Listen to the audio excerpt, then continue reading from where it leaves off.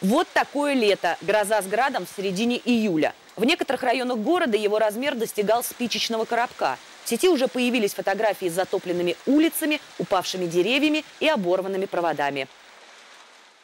Зато позагорали в выходные. К счастью, погодные аномалии не повлияли на выход в эфир программы «Новости дня», и мы начинаем.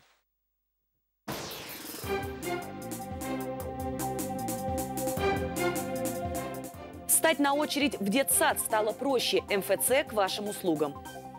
Мы принимаем заявление, сразу тут же регистрируем их в базе, сообщаем им номер, под каким они зарегистрированы, поставлены на учет. Отопительный сезон в срок. Долги за газ берет на себя инвестор. Мы поняли, что самим нам не выбраться из ситуации, которая сложилась, долговая ситуация по платежам по газу. Соцработники, менеджеры, психологи, педагоги и юристы РГСУ вручают дипломы.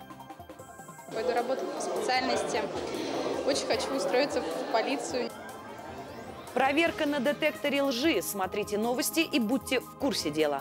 И их честность и благонадежность наравне с иными факторами – залог успешной работы организации.